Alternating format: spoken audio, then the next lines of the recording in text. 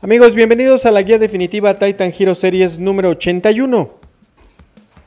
Las Titan Hero Series, sin lugar a dudas, son de las figuras más criticadas, más controversiales al mismo tiempo, porque mucha gente se queja de que carecen de articulación, de que son muy baratas en comparación con las figuras Marvel Legends, de que no valen la pena porque son muy estorbosas.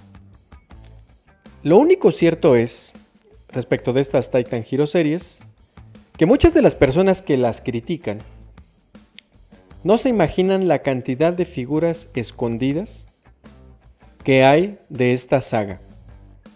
Y coleccionarlas todas, todas, todas, resulta de verdad un reto de coleccionismo. Y lo decimos porque dentro de esta saga, versión tipo cómic del año 2016, la marca Hasbro no dejó de innovar respecto del personaje de Spider-Man.